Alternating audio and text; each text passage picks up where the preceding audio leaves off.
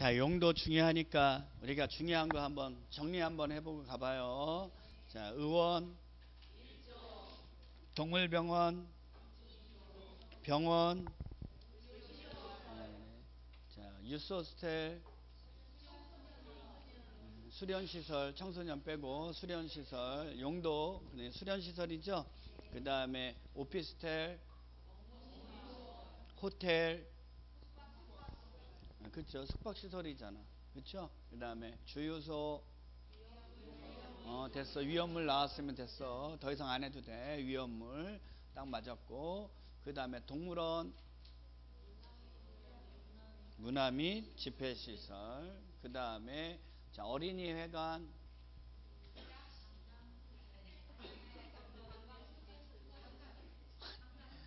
아니 어린이회관이 위락시설이면 참. 자, 어린이회관, 관광, 휴게시설. 그쵸? 아이고야, 걱정된다. 어. 자, 그 다음에 이번에는 자, 면적 갖고서 따지는 거 해볼게요. 150 미만인 단란 주점. 자, 이상이면 일학시설. 나머지 이제 500이지. 자, 500 미만인 종교 집회장. 1종이요? 2종. 하여튼 여러분 이 면적 나와서 미만 그러면 그냥 2종 되면 돼. 그치? 그 다음에 500 이상인 건 종교시설. 종교시설이지 당연히. 그 다음에 500 미만인 자 다중생활시설 이상이면 숙박시설. 그래 알아서 해. 자, 자, 1000 미만인 자, 슈퍼 같은 거 일종. 천 이상이면 판매 시설. 그래요. 516페이지. 적용 대상 지역 갑니다. 전면적 적용 대상 지역, 도시 지역, 지구 단위 계획 구역하고 동 또는 읍 지역은 건축법의 모든 내용이 다 적용되고요. 2번. 도시 지역, 지구 단위 계획 구역, 동 또는 읍 지역이 아닌 지역은 일부는 적용되고 일부는 적용되지 않는다. 이런 얘기잖아요. 일부 규정이 적용되지 않는다. 이 얘기는 일부는 적용된다는 얘기죠. 근데 적용되지 않는 게 1번부터 6번까지 있네요. 대지와 도로와의 관계, 도로의 지정, 폐지, 변경, 건축선, 건축선에 의한 건축 제한, 방화 지구 안의 건축물, 대지의 분할 제한 이런 거는 적용되지 않는다 그랬죠. 그러면 적용되는 것도 있다는 거예요, 없다는 거예요? 어느 거냐 우리가 배운 거. 건폐율하고 용적률은 적용이 된다 안 된다? 된다. 그쵸? 그래서 도시지역하고 지구단위계획구역 동또는 읍지역이 아닌 지역은 어디겠어요? 관리지역 농림지역 자연환경보전지역일 거 아니에요. 그쵸? 그러면 여기 봐봐요. 자연환경보전지역 건폐율 자연환경보전지역 건폐율 20 용적률. 그래요 그러니까 이렇게 건폐 용정을 외웠잖아. 이런 거는 자 어디든 다 적용되는 규정이다. 이것만 알면 된다고. 자, 넘기세요. 넘기세요. 자 이번엔 쭉쭉. 자 페이지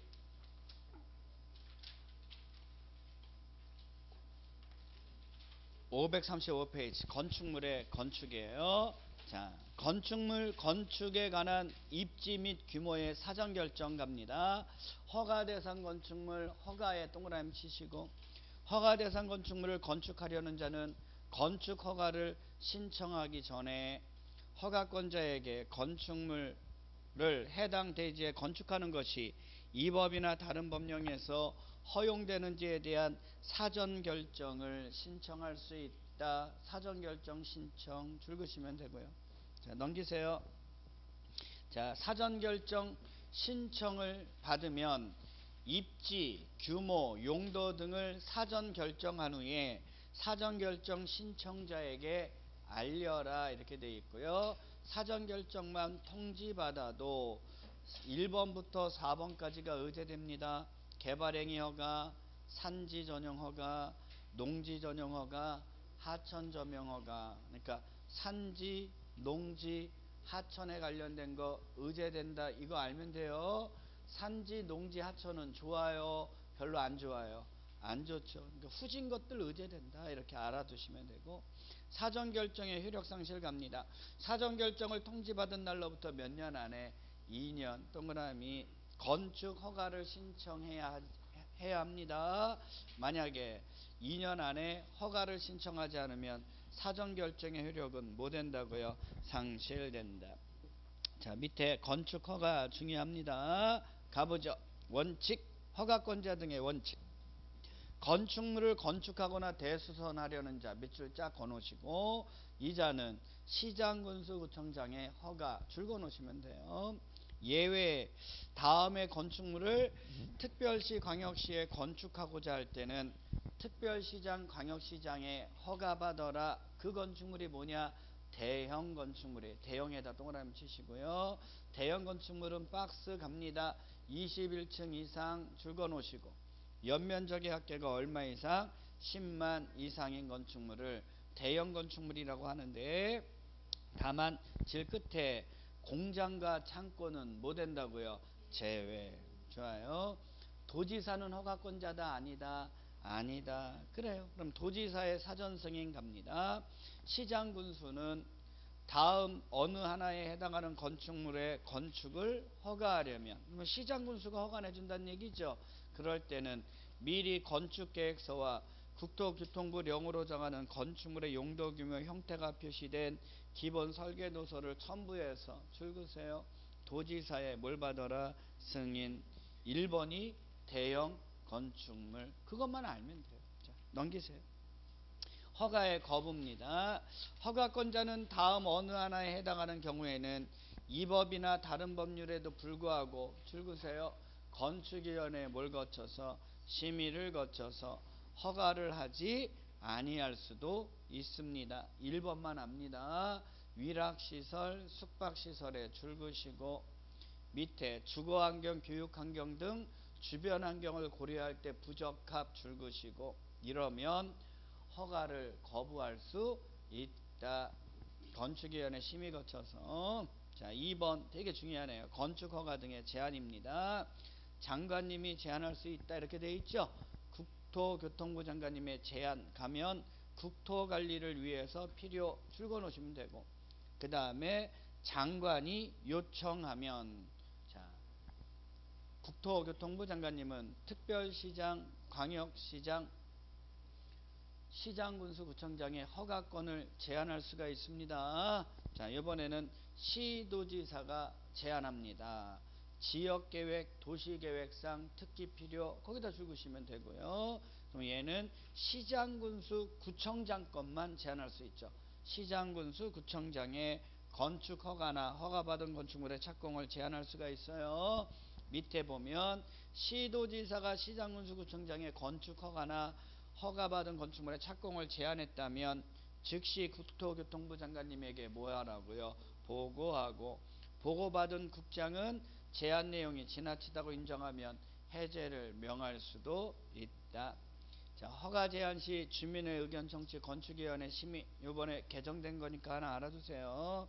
장관이나 시도지사가 이렇게 제한 허가 등을 제한하려면 주민의 의견을 청취한 후 건축위원회 뭘 거쳐라 심의 제한 기간이 잘 나옵니다. 제한 기간은 몇 년 이내로 한다? 2년. 다만 1회 안에서 1년 범위 내에서 제한 기간을 연장할 수 있다. 그 얘기는 건축 허가의 최장 제한 기간은 몇 년이다? 3년. 자, 옆에 장관이나 시도지사는 건축 허가나 건축물의 착공을 제한한 경우에는 제한 목적, 제한 기간, 대상 건축물의 용도와 대상 구역의 위치 면적 경계 등을 상세히 정해서 허가권자에게 뭐 해주고 통보해주고 통보를 받은 허가권자는 지체 없이 이를 공고해주면 되더라. 건축허가의 취소입니다. 반드시 취소 사유예요. 잘 알아두세요. 허가를 받은 자가 다음 어느 하나에 해당하면 허가를 취소 하여야 한다. 하여야 한다에 신경 쓰시고 1번 허가받은 자가 허가받은 날로부터 몇 년? 1년 동그라미 1년 안에 공사에 착수하지 않았다면 이렇게 되어 있네요. 다만 공장 설립에 관한 법률에 따라서 공장의 신설 증설 업종 변경의 승인을 받은 공장은 몇 년? 3년. 농지 전용 허가 신고가 의제된 공장의 경우라면 2년 안에 공사에 착수하지 않으면 반드시 취소하여야 한다. 그 다음에 자 밑에 2번 자 1년 안에 공사는 착수했으나 공사의 완료가 불가능하다고 인정되면 자 허가는 취소하여야 한다. 반드시 취소 사유 좀 잘 좀 알아두세요. 예, 나머지는 다 취소할 수도 있고 안 할 수도 있고 근데 반드시 취소해야 되는 것 몇 년 안에 착수하지 않았을 때 2년 자 넘기세요.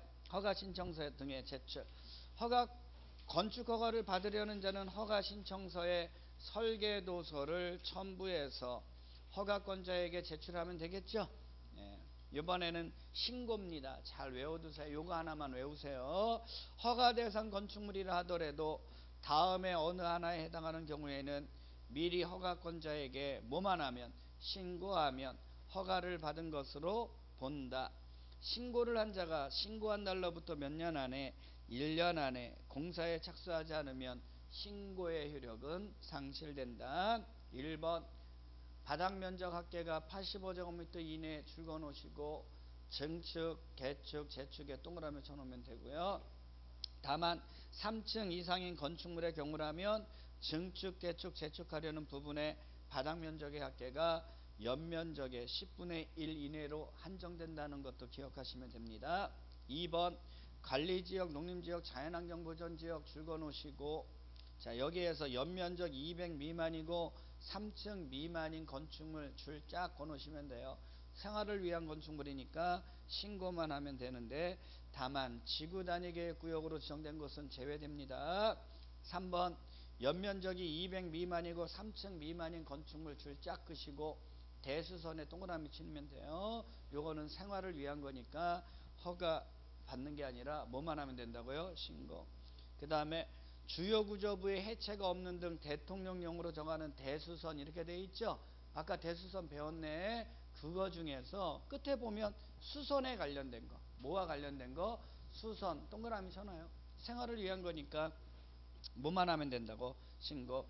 자, 5번 소규모 건축물은 조그만 거니까 신고만 하면 된다 이거죠. 기억번 외웁니다. 연면적의 합계가 얼마 이하인 거 100제곱미터 이하. 이게 소규모 건축물이에요. 연면적의 합계가 얼마 이하인 거 100 이하. 그 다음에 소규모의 증축입니다. 높이 3m 이하의 증축. 외우시면 돼 그냥. 그 다음에 리을번 갑니다. 공업 지역에 무슨 지역에 공업 지역 거기다 동그라미 땅 쳐놓으세요. 그 다음에 여기에 소규모 공장입니다.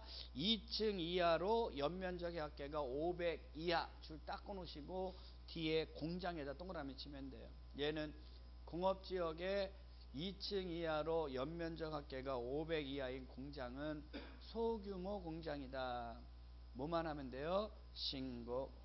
협의 대상 건축물 갑니다.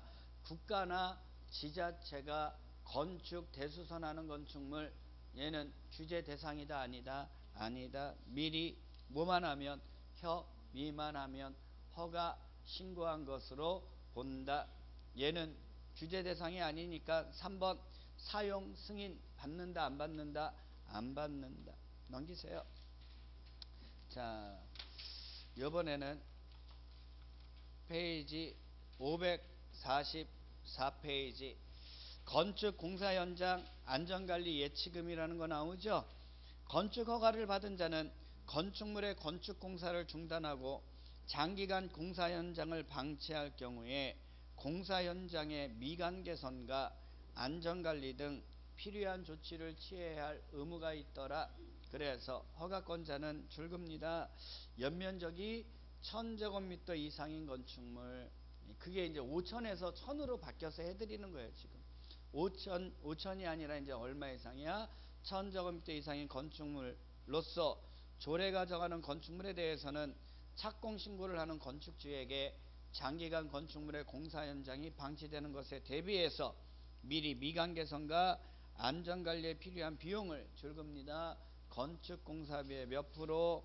1% 범위 안에서 예치하게 할 수 있다. 넘기세요. 가설 건축물입니다. 도시군 계획 시설 및 도시군 계획 시설 예정지 줄거 놓으시고 여기에서 지어지는 가설 건축물은 시장 군수 구청장에게 뭘 받으면 돼요? 허가. 자, 허가 대상 가설 건축물 1번 국토회계 및 이용에 관한 법률 64조에 위배되지 않을 것 이게 도시군 계획 시설 부지 안에서의 개발행위 허가 규정이고요. 4층 이상이다 그러면 안 된다 이런 얘기죠. 그러면 몇 층 이하여야 된다는 거야? 3층 이하. 그러면서 박스에 1번 철근 콘크리트조가 아니어야죠. 그 다음에 존치 기간은 몇 년 이내 3년 동그라미 새로운 간선 설비 설치를 요하지 않아야 되고 분양을 목적으로 건축하는 가설 건축물이 아니어야 한다라는 거예요. 2번 축조 신고 대상 가설 건축물 축조에다 동그라미 치시고 얘는 공작물 이렇게 써놓으면 돼요. 공작물 취급받는 겁니다. 그러면 위에 허가 대상 가설 건축물이 아닌 거 그쵸? 그거를 제외한 나머지 가설 건축물은 다 공작물 취급받는다 이거예요. 그 용도가 재복구용이든 흥행용이든 전람회든 공사용이든 따진다 안 따진다 안 따진다. 얘는 축조하고자 하면 몇 년 이내에서 3년 이내에서 기간을 정하여 시장군수구청장에게 모해서 신고한 후 착공해야 되는 축조 대상 가설 건축물이다. 자, 가설 건축물의 존치 기간 연장할 수 있다 없다 있다 넘기세요. 자, 박스 갑니다. 허가 대상 가설 건축물은 존치 기간 만료 며칠 전 14일 전까지 연장 허가를 신청하면 되고요.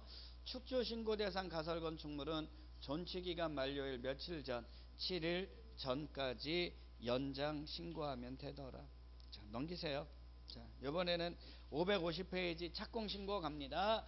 허가받은 건축물, 신고한 건축물 또는 가설 건축물의 건축 허가를 받고 건축물의 공사를 착수하고자 하는 건축주는 허가권자에게 공사 계획을 뭐 하면 돼요? 신고해라. 자, 넘기세요. 자, 쭉쭉 이번에는 자, 사용 승인 554페이지입니다.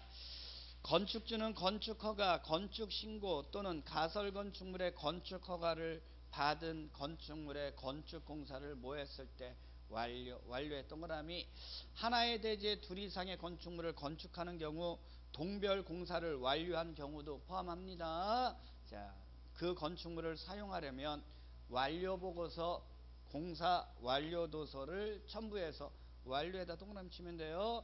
허가권자에게 사용 승인을 신청해라. 자, 원칙 허가권자는 사용 승인 신청을 받으면 며칠 안에 7일 이내에 검사를 실시하고 검사에 합격된 건축물에 대해서는 사용 승인서를 내주어라. 다만 예외적으로 자, 옆에 건축물의 사용갑니다. 건축주는 사용 승인을 얻은 후가 아니면 건축물을 사용하거나 사용하게 할 수 없다. 근데 예외 1번 허가권자가 7일 안에 사용 승인서를 교부하지 않았거나 자 2번 임시 사용 승인이에요. 제일 끝에 보면 임시로 사용에 승인을 했다면 미리 쓸 수 있다.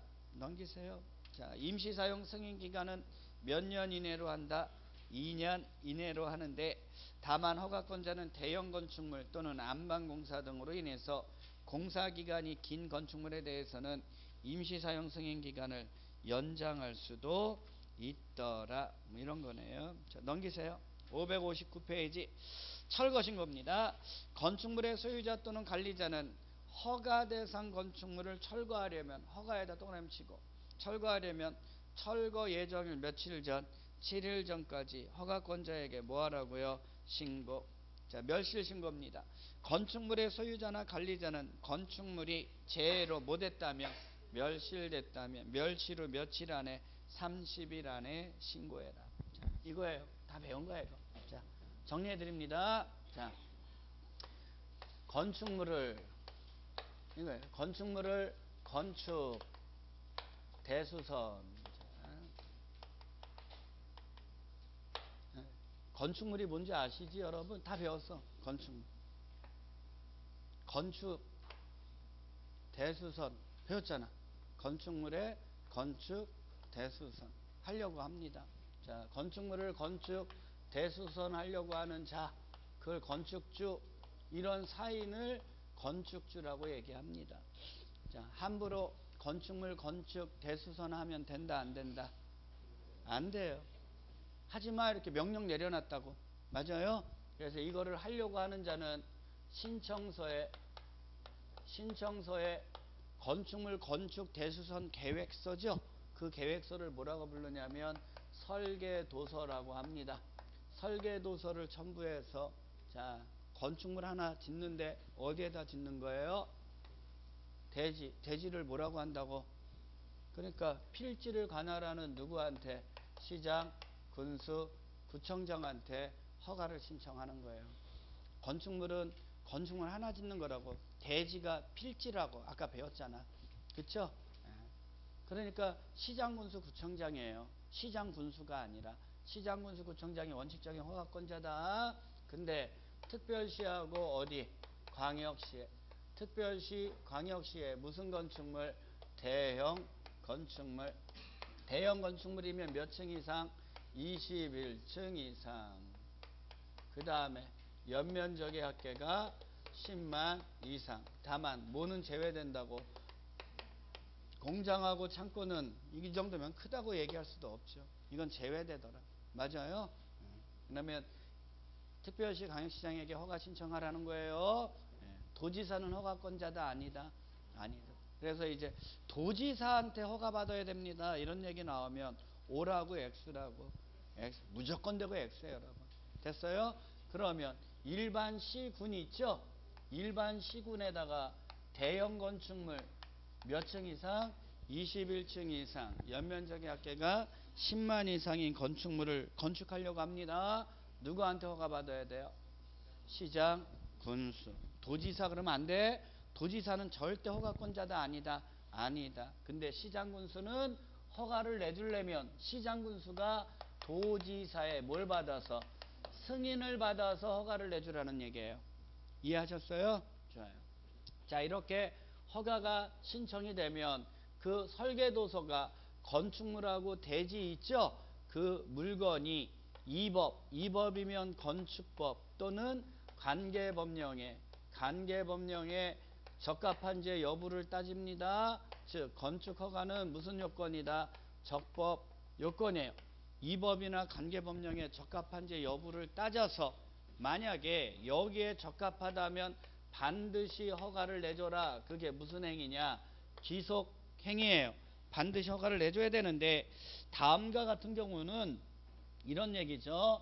자, 이 법 관계 법령에 적합하다 하더라도 허가를 허가를 거부할 수 있다 없다 있더라 이런 얘기예요. 뭐냐면 위락시설하고 숙박시설인데 이게 이법이나 관계법령에는 적합해요. 그럼에도 불구하고 얘가 교육환경이나 주거 환경에 뭐하면 부적합하다 하면 건축위원회에 뭘 거쳐서 건축위원회에 심의를 거쳐서 허가를 거부할 수 있다 이 얘기고 또 한 가지는 자 원래는 이 법에 적합하다 하더라면 반드시 허가를 내줘야 되는데 추가적인 공익을 위해서라면 건축 허가 등은 추가적으로 제한받을 수 있다 없다 있다. 그래서 누가 제한할 수 있냐? 국장이 할 수 있고 시 도지사가 할 수 있어요. 그래서 국장은 언제 제한합니까? 국장이니까 국토관리상. 장관이 요청하니까 장관님이 제안해요. 장관은 특별시장, 광역시장 것까지도 제안할 수 있다 이거죠. 모든 허가권자 걸 제안할 수 있다는 얘기고 시도지사가 국토관리상 그러면 돼야 안 돼요? 안 되지. 얘는 지역계획상 장관이 요청하면 안 되지 얘는. 얘는 자 대표적인 지역계획이 도시군 계획이죠. 도시군 계획상 필요하다면 누구 거만 시장군수 구청장의 허가와 허가받은 건축물의 착공을 제한할 수 있다는 얘기고요. 자 이렇게 시도지사가 제안을 했다면 제안 내용을 지체 없이 장관에게 뭐하라는 거고 보고하라는 거고 보고받은 장관은 지나치다고 인정하면 해제를 하라고 명령 내릴 수도 있더라. 이렇게 지정할 때는 주민의 의견 듣고 건축위원회 뭘 거쳐서 심의 거쳐서 장관이나 시도지사가 제안을 해라. 이런 얘기예요. 제안할 때는 제안 대상 이런 거 다 정해서 허가권자에게 보내주면 허가권자가 일반에게 공고한다는 얘기고 시험 문제 잘 나오는 거. 제한 기간은 몇 년 이내? 2년 이내인데 1회 안에서 1년 이내에서 연장할 수 있다 없다? 최장 제한 기간은 몇 년이다? 3년이다. 이거예요 이거. 지금 배우는 게. 여러분들 지금까지 배운 거. 키워드는 이거예요 꼭 알아두시고 그 다음에 자 허가 받았어요 뭐 받았다고요? 허가 받았으면 몇 년 안에 1년 안에 공사에 뭐 하라고요? 착수해야 돼. 만약에 1년 안에 공사에 착수하지 않으면 자, 얘는 기속행위니까 반드시 취소하여야 한다. 근데 1년 안에 공사는 착수했어요. 근데 공사의 완료가 불가능하다고 인정하면 취소하여야 한다. 그거 알면 되고요. 자, 그 다음에 다 완료했어요. 공사가 다 못했어요. 완료되면 건축주는 건축물 써야 되잖아요.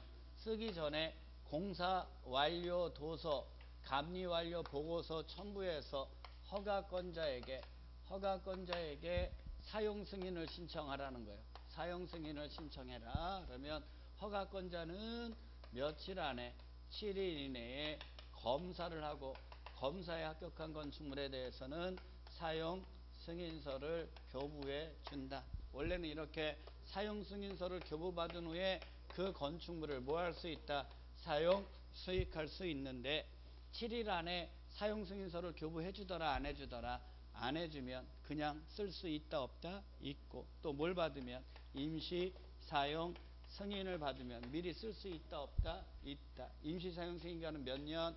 2년 이내인데 연장할 수 있더라. 이거 배운 거예요. 원래는 이렇게 건축물을 건축 대수선하려면 이렇게 규제를 받아야 되는데 경미한 것, 뭐한 것, 경미한 것, 뭐만 하면 된다.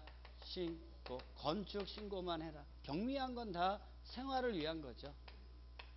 이거 맨날 배운 거잖아. 생활을 위한 거다. 그래서 보면 바닥 면적의 합계가 얼마 이내에 85제곱미터 이내에 증축, 개축, 재축은 생활을 위한 거니까 뭐만 하면 된다. 신고. 이번에는 관리지역, 농림지역, 자연환경 보전지역, 관리 농림 자연환경 보전지역. 우리 국회법에서 배운 거 한번 생각해 볼까요? 별로 기대는 안 합니다. 자연환경 보전지역에 지을 수 있는 게 뭐죠? 건축할 수 있는 거. 자연환경 보전지역에 뭐 지을 수 있다 그랬지? 농어가 주택 같은 거 지을 수 있어요. 자 여기 봐요. 그러니까 농어가 주택이니까 거기에 살고 있는 사람들의 필요한 거죠. 건폐율은 20, 용적률은 80이에요. 그러니까 얘는 연면적이 200 미만이고 동시에 몇 층 미만인 거?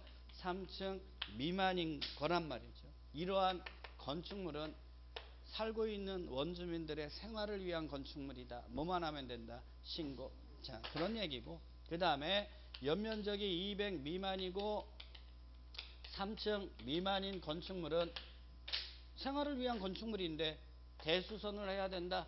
이건 지역에 상관없어요. 대수선은 뭐만 하면 된다? 신고. 이 정도만 아니면 되고 생활을 위한 거고.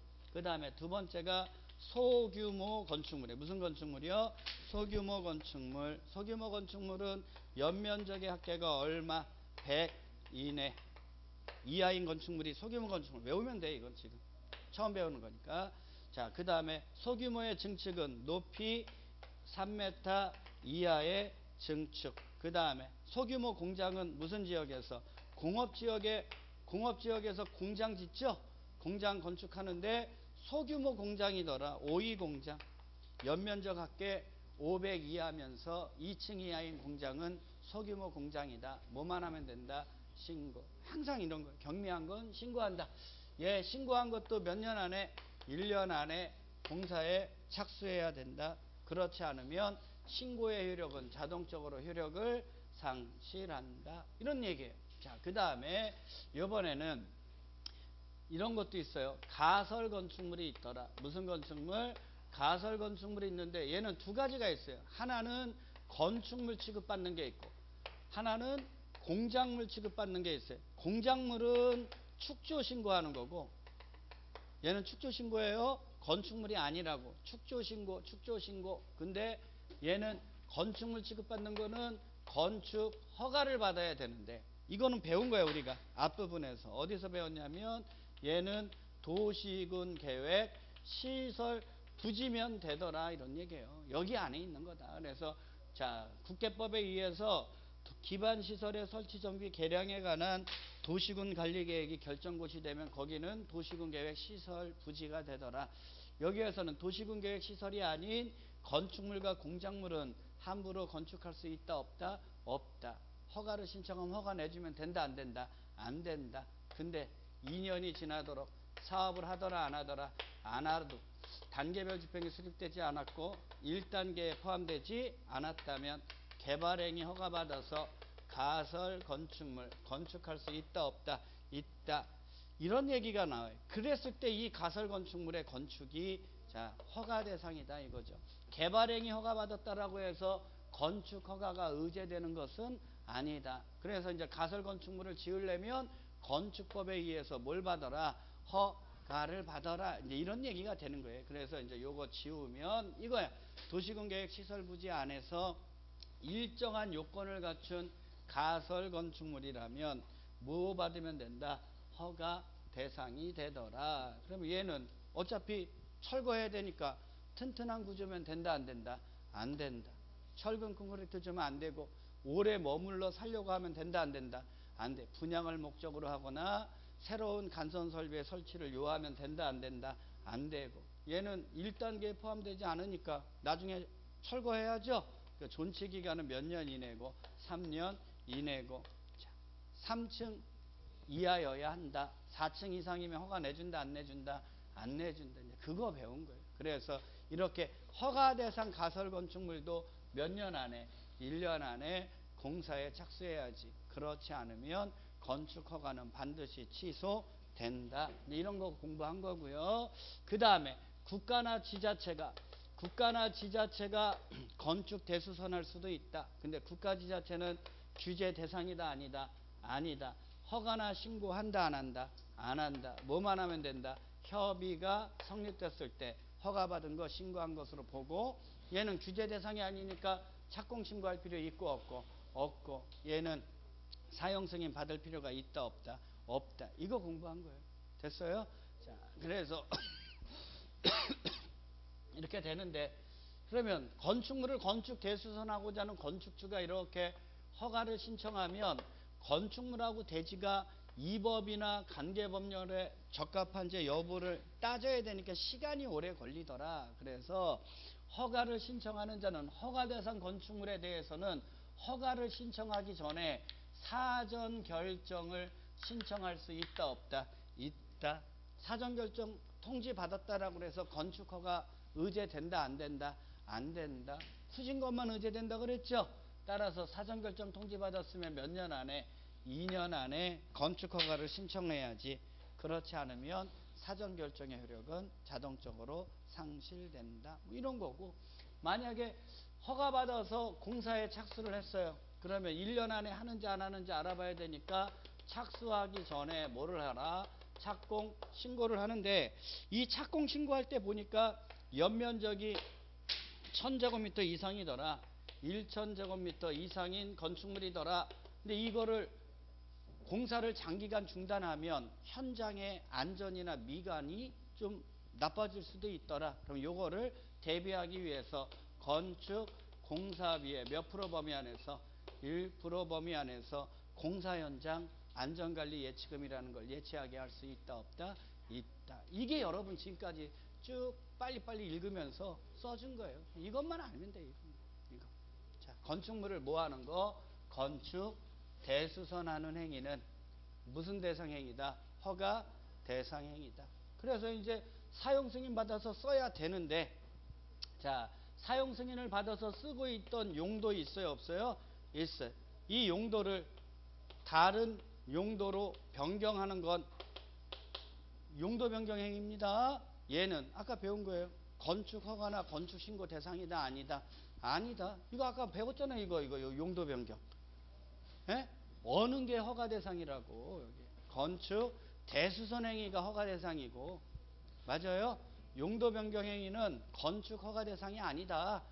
사용 승인을 받아서 쓰고 있던 용도를 다른 용도로 변경해서 사용하는 게 용도 변경이다. 그래서 이 용도 변경을 설명하기 위해서 자산, 전문, 영교, 근주, 기라는 아홉 개의 시설군이 있더라. 그래서 위로 가면 허가, 누구한테?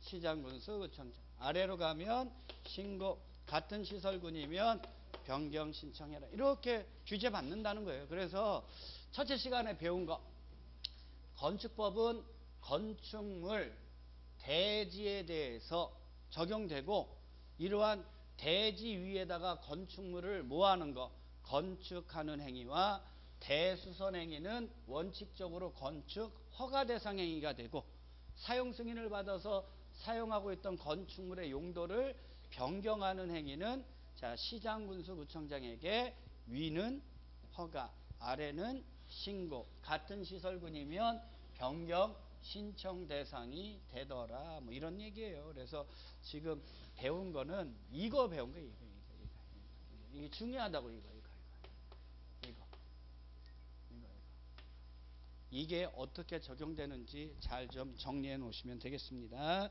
넘기세요 이제 쭉쭉 페이지 이번에는 571페이지입니다.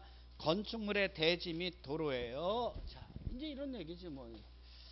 자, 이런 대지가 있는데 대지는 필지다. 배운 거 이거예요. 대지는 필지고 여기에다가 건축 허가 받아서 이렇게 건축물을 건축할 거다. 뭐 이런 얘기예요.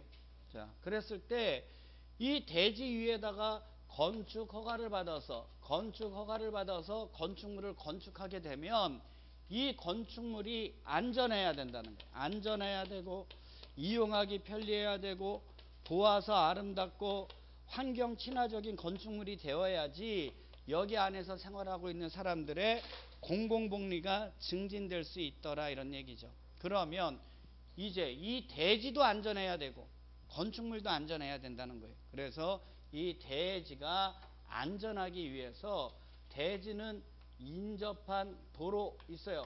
도로보다 요 도로면보다 낮으면 되더라 안 되더라 안 되더라 갑니다. 대지는 인접한 무슨 면 도로면에 동그라미 치세요. 도로면보다 낮아서는 안 되는데 다만 대지의 배수의 지장이 없거나 건축물의 용도상 방습의 필요가 없으면 인접한 도로면보다 낮아도 되더라. 습지 매립지에 건축물을 건축할 수 있다 없다 있다. 근데 그냥 건축하면 안전하지 않으니까 성토, 지반 개량 등 필요한 조치를 하여야 한다. 대지에는 빗물과 오수를 배출하고 처리하기 위한 배수 시설을 반드시 설치하여야 한다. 옹벽 설치. 손괴의 우려가 있는 토지에 대지를 조성하려면 옹벽을 설치해라 이런 얘기예요. 그래서 1번 보니까 성토 또는 절토되는 부분의 경사도가 1대 1.5 이상으로 높이가 1m 이상인 부분에는 옹벽을 반드시 설치해 줘야 되고요. 옹벽의 높이가 얼마 이상이면 2m 이상이면 옹벽의 구조가 무슨 구조로 해야 되고? 콘크리트 구조해야 되고 그 다음에 옹벽의 외벽면에는 지지 배수를 위한 시설의 구조물이 바깥으로 튀어나오면 된다 안 된다? 안 된다. 그럼 지지대나 배수 시설은 튀어나올 수 있다 이런 얘기죠? 그거 외에 다른 건 튀어나오면 안 되고요.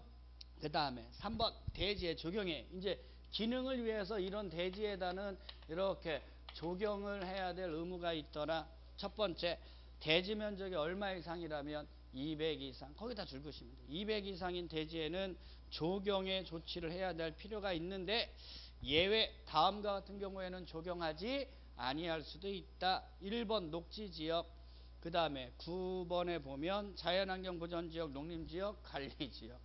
아유 당연히 안 해도 되지. 뭘 또 줄을 거. 줄구는 병 있는 사람들이 있어요. 보면 아, 녹지 지역, 자연환경 보전 지역, 농림 지역, 관리 지역이면 조경할 필요 있겠어요, 없겠어요? 이미 끝내주잖아. 그쵸? 6번 축사, 7번 가설 건축물. 아 당연히 적용하지 않아도 된다고. 대지우리 옆에 적용해서 뭐 할 거야? 당연히 안 해요. 더 웃긴 건 5번이야. 대지에 염분이 함유되어 있어. 적용하면 썩어. 안 해도 된다고 당연히. 은행인지 알아요? 예. 근데 시험 문제 나오면 2번, 3번, 그 다음에 8번이 나옵니다. 자, 연면적의 합계가, 연면적의 합계가, 자, 1500, 1500 미만인, 자, 1500 미만인 공장하고 물류시설은, 자, 자, 연면적의 합계가 1500 미만인 공장하고 물류시설에는 적용하지 아니할 수 있어요. 다만 이 물류시설은 주거지역하고 상업지역에 있으면 무조건 되고 적용해라. 이렇게 알면 되고 작년에 시험 문제 나온 거예요. 대지 면적이 얼마 미만인 거 5천 미만인 공장에는 적용하지 아니할 수 있다. 이것만 알아두시면 되겠습니다. 4번 공개공지 가죠. 다음 어느 하나에 해당하는 지역에 줄긋이고 환경을 쾌적한 환경 조성 줄긋이고 대통령령으로 정하는 용도와 규모의 건축물 줄것이고 일반이 사용할 수 있도록 대통령령으로 정하는 기준에 따라 소규모 휴식시설 등의 공개 공지를 설치해야 합니다. 자, 그 지역이 어디냐면 일반 주거 지역, 준주거 지역, 상업 지역, 중공업 지역. 앞잡다면 일준, 상준. 넘기세요. 다음에 해당하는 건축물의 대지에는 공개 공지를 확보해야 되는데 바닥 면적의 합계가 5천 이상인 문화 및 집회 시설, 종교 시설, 판매 시설, 운수 시설, 업무 시설, 숙박 시설 그 옆에다 써 놓으세요. 위락 시설하고 운동 시설은 없다. 설치 면적 공개 공지 등의 면적은 대지 면적의 얼마 범위 안에서 10% 범위 줄거 놓으시면 되고 자 이번에는 건축 기준에 완합니다. 박스 가면 용적률은 1.2배 이하 높이 기준도 1.2배 이하에서 완화해 줄 수 있더라. 공개 공지 설명해 주면 쉬운 거예요. 이거. 자 이런 얘기죠. 여기 어디 어떤 곳이냐면 사람들의 왕래가 되게 많은 곳이에요. 여기가. 근데 이런 곳에 쾌적한 환경을 조성하기 위한 방법은 뭐 어떤 거냐면 이 사람들이 많이 이용하는 이 토지를 행정주체가 수용해서 여기에다가 공원을 설치해 주는 거예요. 공원을 설치해 주면 복잡한 도심지 안에 쾌적한 환경을 조성해 나갈 수 있다 없다 있다. 근데 그렇게 해 나가려니까 수용하기도 어렵고 그렇죠? 돈이 너무 많이 들어가고 그러한 부지를 확보하는 것도 너무너무 어려운 거예요. 그러니까 머리를 쓰는 겁니다. 그렇게는 안 하고 그런 곳에다가 일반 사인들이 사람들이 많이 이용하는 다중이 많이 이용하는 용도, 다중 이용 용도의 건축물을 건축하는 사인이 있다면 그자에게 그 대지를 다 건축물 부지로 쓰지 말고 이 대지 면적의 몇 프로 범위 안에서 10% 범위 안에서 여기에다가 공개해서 공지를 만들어서 일반인에게 공개하라는 거예요. 그래서 사람들이 왔다 갔다 하면서 여기서 휴식할 수 있도록 공개 공지를 반드시 설치해 주라는 거예요. 그러면 손해 안 보도록 원래 여기에다가 지을 수 있는 건축물의 용적률 높이 규제 있잖아요. 대지 10% 제공했으니까 그거보다 20% 정도 더 높게 건축물을 짓도록 해주겠다. 그러면 일반 사인의 입장에서는 비싼 건축물 높게 줘서 좋고 맞아요? 행정주체 입장에서는 복잡한 도심지에 돈 안 들이고 공개공지 설치해서 쾌적한 도시환경 조성해서 좋고 껌 먹고 알 먹고 규정이 뭐라는 거예요? 공개 공지라는 거예요. 그러면 이러한 것들이 필요한 데가 어디냐? 여기 한번 봐요, 여러분. 이게 벌써 얘기가 다 끝났지. 자연환경 보존 지역에 이런 거 필요해요, 안 필요해요? 그래요. 농림 관리 지역에 필요해요, 안 필요해요? 녹지 지역에 필요해요, 안 필요해요? 아, 당연히 안 필요해요, 여러분, 이런 거는. 그쵸? 전용 주거 지역에 이런 게 가능해요? 아니죠? 그러니까 어디가 필요하냐, 이런 데가 일반 주거 지역, 준 주거 지역, 상업 지역. 맞아요? 여기 전용 공업 지역에 이런 거 필요할까요? 안 필요할까요? 전용 공업 지역. 안 필요하겠죠? 일반 공업 지역은요? 예, 일반 공업 지역은 환경을 저해하지 않는 공업의 배치라고 그랬어요. 즉, 사람들이 많이 이용하는 건축물은 일반 공업 지역에 지을 수 있다, 없다? 없다. 그거 다 국회, 국회법 시간에 얘기해 준 거잖아. 그쵸? 그러니까 이제 뭐만 필요한 거예요? 준, 공업 지역. 그래서 나오는 게 일준이, 상준이에요. 일준이, 상준이 이런 지역에 다중 이용 용도, 다중 이용 용도는 자, 연면적의 합계가 5,000제곱미터 이상이면 다중 이용 건축물이라고 그래요. 이상 것으로 많은 사람이 이용하는 용도니까 문화 집회 시설, 판매 시설, 운수 시설, 업무 시설, 종교 시설, 숙박 시설 같은 거겠죠. 대표적인 게 여러분들이 제일 쉽게 볼 수 있는 게 운수 시설 보시면 돼. 대전역. 대전역 같은 데 가보면 앞에 넓은 공지 있어요, 없어요? 거기에 벤치 같은 거 있어요, 없어요? 다 그게 공개 공지, 공개 공지. 됐어요? 근데 여기에 안 친한 게 뭐냐? 위락 시설하고 운동 시설은 친하다, 안 친하다? 아, 당연한 거예요. 세븐 나이트 클럽 옆에 공개 공지 설치해 주면 밤새도록 사람들이 논다고 춤추고 술 처먹고. 그리고 나와요 차가 없어.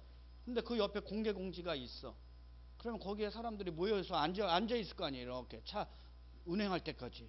앉으면서 뭐 합니까? 이 사람들이 이제 뭐 먹었는지 확인하죠. 와 이렇게 그래갖고 어머 내가 지금 안주로 아까 저기 과일 안주 먹었네 뭐 이런 아 그러면 쾌적한 환경을 조성할 수 있겠어요 없겠어요 그러니까 위락 시설에는 공개 공제 설치한다 안 한다 절대 안 해요. 운동 시설에도 안 합니다, 여러분. 예, 좀 있으면 이제 여름이 돼요. 좀 있으면 여름이 되면 남자들은 별로 그냥 몰래 몰래 하는데 여자들은 뭐 비키니를 입어야 되니 뭐 해야 되느니 그래서 날씨나 몸매를 해야지 그래갖고 하여튼 에어로빅 같은 거 막 이렇게 운동합니다. 살 빼려고. 근데 이 아줌마들은 하여튼 주책이에요. 예. 운동시설에서만 하면 되는데 만약에 운동시설 옆에 공개 공지가 있어서 빈 공터가 있으면요 아줌마들은 집에도 안 갑니다 거기에서 또 모여갖고 에어로빅 합니다 여러분 에어로빅 복장 아시죠? 예, 빨주노초 파남보 뭐 원색에 쫙 달라붙는 거 이거 딱 하고 그런다고 생각해봐요 아줌마들 한 20명이 거기 모여서 헤헤 이러면은 쾌적한 환경을 조성하겠어요? 눈 버리겠어요? 예, 눈 버리는 거예요. 그래서 자 위락시설하고 운동시설에는 공개공제 설치한다 안 한다? 안 한다. 자, 대지 면적의 몇 프로? 10%를 공개공지로 제공해라. 그러면 건축물 원래보다 몇 프로? 20% 정도 더 높게 짓겠다. 그러니까 높이와 관련된 거니까 용적률하고 높이 기준 1.2배 범위 안에서 맞아요? 완화시켜 주겠다. 이게 무슨 제도라고요? 공개 공지 제도라고요. 이해하셨어요? 자, 잘 알아두시면 돼요. 자, 이번에는 도로예요. 여러분, 이 건축법에서 대지의 기준하고 관련돼서 우리가 꼭 알아둬야 되는 건 도로예요, 여러분. 도로. 자, 지금 우리가 이제 대지 안전에서도 제일 먼저 도로면보다 낮으면 안 된다 이렇게 얘기하는데 자, 건축법상 대지는 우리가 아까 첫째 시간에 배웠듯이 대지는 뭘 얘기한다? 필지를 얘기해요. 그래서 이러한 대지에다가 필지에다가 건축 허가 받아서 건축물 지을 때 이렇게 건축물이 지어지면 이용하기가 편리해야 돼요. 그래서 이용하기가 편리하다는 건 건축물에다가 이용하기 편리한 설비 같은 걸 설치하는 것도 중요하지만 얘네들한테 접근성이 있어야 됩니다. 접근성이. 접근성이 없어서는 편리하게 이용할 수가 있다 없다 없어요. 그래서 건축물을 지으려는 대지는 반드시 도로라는 거하고 접해 있어야 돼요. 도로하고 접해 있지 않는 대지에는 원칙적으로 건축물을 지을 수 있어요 없어요? 없어요. 그래서 아마 학개론 시간에 아마 여러분들이 배웠을 거예요. 도로하고 접해 있지 않은 대지. 그걸 뭐라고 불러요? 그래 맹한 거예요. 걔는 대지인데 건축물을 못 짓는 맹지죠. 사람인데 약간 떨어지는 사람을 뭐라고 불러요? 맹구라고 하잖아요. 그것처럼 대지인데 건축물을 지을 수 없는 대지면 무슨 지예요? 맹지지 그게. 그래 안 그래요? 그 왜 그러냐? 건축법에 이런 얘기가 있어서 그래요. 건축물을 지으면 이용하기 편리하려면 반드시 건축물을 지으려는 대지는 뭐하고 도로화라는 거하고 접해 있어야 된다는 거예요. 그러니까 이제 이 도로의 개념이 되게 중요한 거죠. 그래서 건축법상 도로가 되려면 보행이 가능해야 되고요. 동시에 자동차의 통행이 가능해야 되고요. 최소한 너비는 4m여야 돼. 4m 이상의 폭을 갖고 있어야 됩니다. 이러한 세 가지 요건을 갖추면 건축법상 도로가 될 가능성이 상당히 높아요. 자, 이렇게 세 가지 요건을 갖추면 건축법이 아니라 다른 법령이 있죠? 관계 법령에 의해서 신설 변경의 고시가 된 도로도 건축법상 도로고. 자, 이러한 요건을 갖추면 건축법에 의해서 건축 허가나 건축 신고 시에 위치를 지정 공고한 도로도 건축법상 도로가 돼요. 이 도로를 우리는 소방도로라고 합니다. 소방도로. 자, 그 다음에 이렇게 될 거면 이렇게 이렇게 신설 변경의 곳이 위치를 지정 공고한 도로뿐만이 아니라 계획상의 도로인 모두 예정 도로까지도 뭐가 된다는 거예요? 건축법상 도로가 된다는. 그 개념만 잘 알면 돼요. 도로. 보행 및 자동차 통행이 가능한 너비 4m 이상의 도로로 예정도로도 포함합니다. 자, 1번이 관계법령에 따라 신설 변경의 고시가 된 도로 2번 건축법에 의해서 건축하거나 신고 시의 위치를 지정 공고한 도로도 건축법상 도로가 될 수 있다. 그것만 잘 알아두시면 돼요. 자, 예외적 도로 시장군수구청장은 지형적 조건으로 인해서 차량 통행을 위한 도로의 설치가 곤란하다고 인정해서 위치를 지정 공고하는 구간이라면 너비 3m 이상인 도로도 건축법상 도로가 될 수 있다. 이 얘기죠.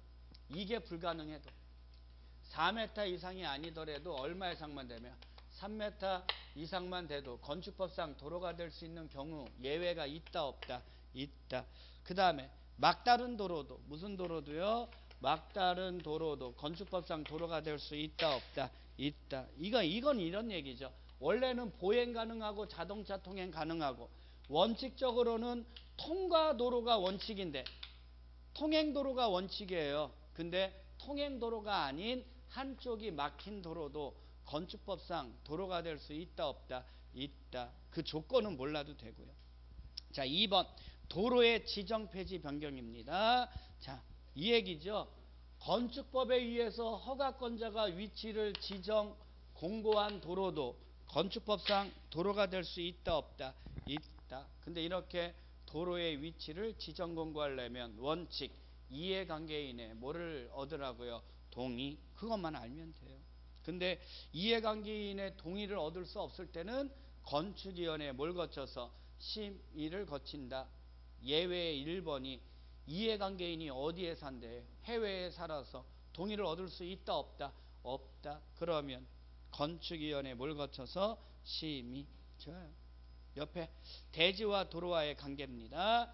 건축물의 대지는 얼마 이상을 2m 이상이 도로에 접해야 한다라는 거죠. 자, 이제 그거를 알아두면 되는 거예요. 자, 이게 건축물을 지으려는 대지라면 도로라는 거에 도로는 원칙이 너비가 얼마 이상해야 돼요? 4m 이상인 도로에 얼마 이상을 접해야 된다고? 2m 이상을 접해라. 이거를 접도 의무라고 합니다. 무슨 의무? 접도 의무. 도로에 접해야 되는 의무. 얼마 이상을 접해라? 2m 이상. 근데 예외. 접하지 않아도 되는 경우 이렇게 나오죠? 1번 보면 출입에 지장이 없을 때. 출입에 지장이 없을 때. 당연하죠. 뭐 그림 그리면 이거지. 도로가 여기 대지가 있고 도로는 여기가 있는데 여기가 공원이에요. 건축물의 건축이 금지된 공지에 접해 있더라 이거예요. 그러면 내 대지는 도로하고 접했어요? 안 접했어요? 안 접했어도 출입하는데 지장이 있다 없다? 그러면 건축물 지을 수 있다 없다? 있다.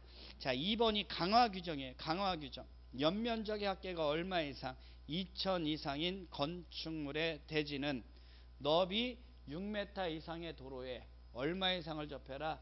4m 이상을 접해라. 다만 공장이라면 얼마 이상이라고요? 3천 이상. 예, 이건 너무 쉬운 거지. 봐요. 원래는 4m 이상의 도로에 2m 이상을 접하면 되는 거예요. 원래는. 이건 우리 집 우리 우리 식구만 살집 지으니까 그렇지. 이럴 때는 4m 이상의 도로에 2m 이상만 접하면 됩니다. 근데 요번에 여기에다가 우리 집이 어떤 집이냐면 아파트에 아파트. 아파트에 아파트. 그래서 연면적의 합계가 얼마가 넘더라? 2천 이상인 건축물이 지어졌더라 이런 얘기예요. 그럼 여기에는 여기에 살고 있는 사람들이 와장창 왔다 갔다 해야 되잖아요. 그러니까 도로의 폭도 얼마 이상이어야 되고 6m 이상의 폭을 갖고 있는 도로에 접하는 것도 2m가 아니라 얼마 이상을 4m 이상을 접해라. 근데 만약에 이게 아파트가 아니라 공장이라면 연면적의 합계가 얼마 이상이다? 3천 이상이더라. 맞아요? 예, 그러면 이거지. 2,000제곱미터 이상인 건축물의 대지는 6m 이상의 도로에 얼마를 접해라? 4m를 접해라. 2, 6, 4. 2, 6, 4. 내 고향 7월이면 청포도 뭐 이런 시도 지으신 분이 2, 6, 4죠. 그분들이 그분이 지은 시 중 공법적이며 과학적인 시가 하나 있어요. 제목은 접도 의무의 강화 규정. 내용은 연면적의 합계가 2천 이상인 건축물의 대지는 6m 이상의 도로에 4m 이상을 접하여야 한다. 참 과학적인 시예요. 외우시면 되고. 자, 이번에는 건축선이 무슨 선이요? 건축. 여러분 지금 대지의 기준은 다 뭐하고 접해 있는 거야? 어, 이게 도로하고 가는 거야. 자, 가봐. 지금까지 배운 거 도로라는 거하고 얼마 이상을 2m 이상을 접해라. 이걸 뭐라고 하고 접도 의무 이거를 대지와 도로와의 관계라고 얘기를 하고 맞아요? 그 다음에 안전을 위해서 이 도로면보다 낮으면 된다고 안 된다고 안 된다고 꼭 도로면보다 낮으면 안 돼. 그러면 이러한 요건, 이러한 도로하고 접해 있는 이 대지의 면적이 얼마 이상이면 200제곱미터 이상이면 여기 안에 뭐 하라고? 아, 적용하라고 한 거예요, 적용. 대지 면적이 200 이상이면 이해하셨어요? 예, 그래 놓고 이제 여기에다 건축 허가 받아서 건축물 건축합니다. 그럼 건축하면 건축물이 이 도로를 침식하면 될까 안 될까? 되면 될까 안 될까요? 안 되죠. 그래서 요 대지 안에 건축물을 건축할 수 있는 한계선을 규제해야 돼, 안 해야 돼? 해야 돼. 이거를 우리는 뭐라고 부른다? 건축선이라고 해요. 도로와 접해 있는 대지에서 건축물을 건축할 수 있는 한계가 되는 선. 이게 뭐라고요?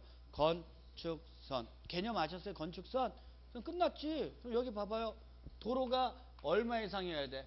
4m 이상의 도로라면 대지와 도로에 무슨 선이? 경계선. 이 경계선 있죠? 대지와 도로의 경계선이 원칙적으로 뭐가 된다고요? 건축선이 되고. 맞아요? 여기가 한계선이니까 건축물 및 담장은 이 건축선의 수직면을 넘으면 된다 안 된다? 안 되겠죠? 당연한 거 아니에요. 건축선 개념 아셨어요? 가봐요. 그럼 밑에 원칙 건축선은 대지와 도로에 무엇으로 한다? 경계선. 자, 원칙만 공부합니다. 지금은 예외는 안 해요. 지금 개념만 알아두는 게 중요해요. 자, 이번에는 580페이지.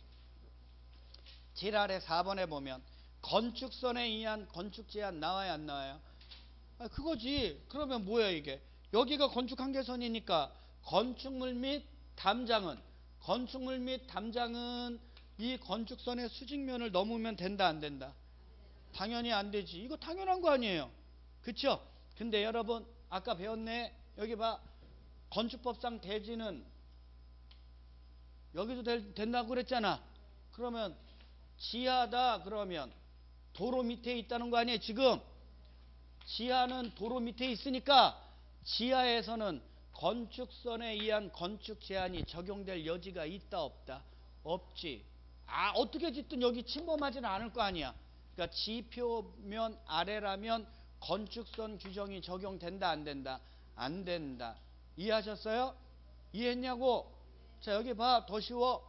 그 다음에 지금 건축물하고 담장은 요 건축선 넘으면 안 됐죠 안 넘었어 이렇게 근데 고가 부분인데 이 도로면으로부터 4.5m 이하인 부분이 있는 거예요. 고가 부분이라도 4.5m 이하인 부분이 있어요. 그러면 건축물 안 넘었죠 지금? 그렇다 하더라도 창문이 있어요 없어요? 창문 열고 닫을 때라도 여기 넘으면 된다 안 된다? 안 된다고 그래서 도로면으로부터 4.5m 이하에 있는 건축물의 창문들은 다 어떻게 열리게? 이렇게 열리게 만들어놨지? 맞죠? 이게 이렇게 열리면 입 돌아가는 수가 생깁니다. 지나가다가. 이해하셨어요? 그래서 도로면으로부터 얼마 이하? 4.5m 이하에 있는 부분은 이해하셨어요? 자, 출입구 창문 같은 거 열고 닫을 때라도 건축선의 수직면을 넘으면 된다 안 된다?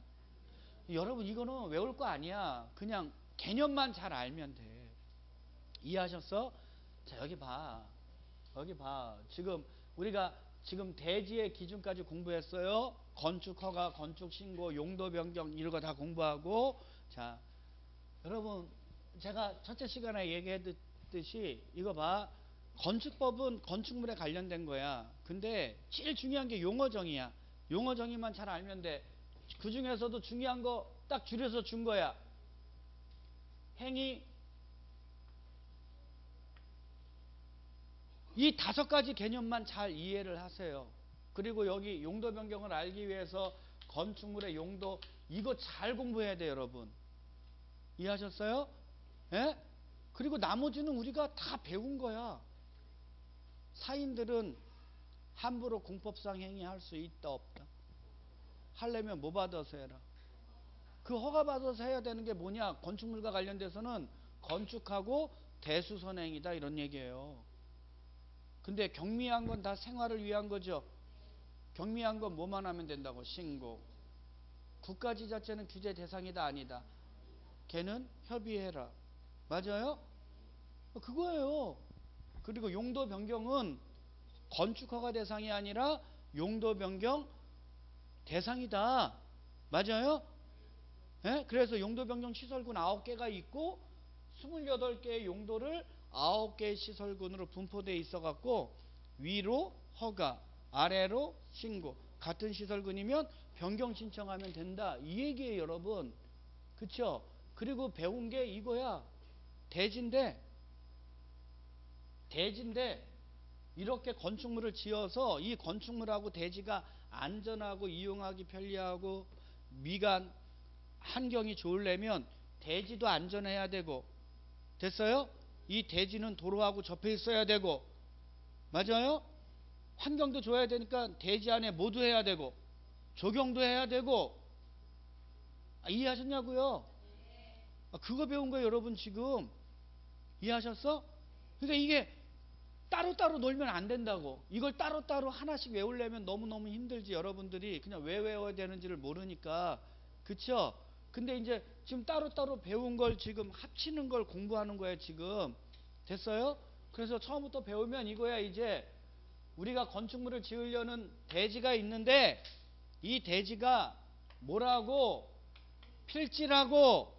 그래서 이 대지는 건축물을 지으려는 대지는 도로라는 거하고 얼마 이상을 2m 이상을 접해야 된다는 거고 맞아요? 이 대지 면적이 얼마 이상이면 200제곱미터 이상이면 조경을 원칙적으로 해야 된다는 거고 맞아요?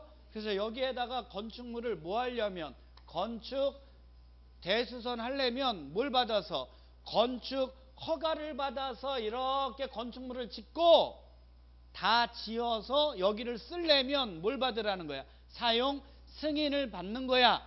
그리고 사용 승인을 받은 용도를 다른 용도로 변경하려면 용도 변경 허가 신고 변경 신청하라는 얘기고 이해하셨어? 됐어요? 근데 그 중에 이제 이러한 것들이 일정한 지역에 다 이렇게 돼 있을 거 아니야. 그쵸? 근데 여기에 쾌적한 환경을 조성하고 싶어. 사람들이 너무 많이 왔다 갔다 하는데 쾌적한 환경이 있어갖고 사람들이 좀 편리하게 쉴 수 있는 공간을 좀 만- 만들어주고 싶은 거야. 그러면 여기에다 공원을 설치해줘야 되는데 너무 힘든 거야. 이 토지 비싼 거를 수용해갖고 이렇게 하기에는 이해하셨어? 그럴 때는 이런 곳에 다중용도 건축물을 건축하는 건축주의 있지? 여기다 써줄게. 다중 용도를 건축하는 건축주에게 맞아요? 야 대지 면적의 얼마 범위 안에서 10% 범위 안에서 여기에다가 공개공지를 네가 설치를 해줘라. 그러면 네가 여기에다가 지을 수 있는 건축물보다 몇 프로 정도 더 20% 정도 더 높게 지을 수 있도록 해줄게. 이해하셨어요? 그러면 이렇게 해줘야 되는 이 일단의 지역이 어디냐? 일반 주거 지역, 준주거 지역, 상업 지역, 중공업 지역이라는 거고 이해하셨어? 이런 용도의 위락시설하고 숙박시설은 있다고 없다고. 아니 위락시설하고 운동시설은 있다고 없다고. 이건 휴식 공간이 필요한 데가 아니잖아 얘네들은. 이해 이해 가? 정말 이해 가시냐고? 여러분 문자로 자꾸만 공부하려면 여러분 그게 무슨 뜻인지 몰라서 어려운 거야 이해하셨어? 제가 강의할 때 막 빨리 읽고 줄긋잖아 빨리 읽고 줄그는 거 있죠? 그 여러분 보고 아, 이게 줄그면서 여러분들이 이 줄그면 이걸 알 거다 생각하면 알 거다 아니 절대 줄만 거서는 절대 모르는 거야 그게 그건 줄거서 내가 암기하고 이럴 게 아니라고 그냥 빨리 거서 전체적인 상황만 여러분들이 딱 설정만 할 줄 알면 생각하는 대로 그게 그, 그 글이 나온다는 거야. 그럴 때는 그냥 미련 없이 빨리빨리 줄거 그리고 그 당시에 못 외워. 외울 수 없잖아. 집에 가서 외워야지. 외우는 건 이해하셨어? 괜찮아. 이거 여러분 되게 쉬운 거야. 건축법이 되게 쉽다고 그래요. 왜? 얘는 기본적인 용어 정어 딱 알고 상황만 딱 그려서 개인이 하는 거니까 쉬워 그래서 외울 건 이거밖에 없어. 용도하고 용도 변경 시설군하고 경미에서 신고해야 되는 거 그 여섯 가지 있지? 그것만 딱 외워. 그럼 나머지는 다 끝이야. 이해하셨어요? 그래요. 여기까지 하고 잠깐 쉬었다가 자 저 뒤에 예, 이제 건축물의 구조 이쪽으로 갑니다. 예, 잠깐 쉬었다 할게요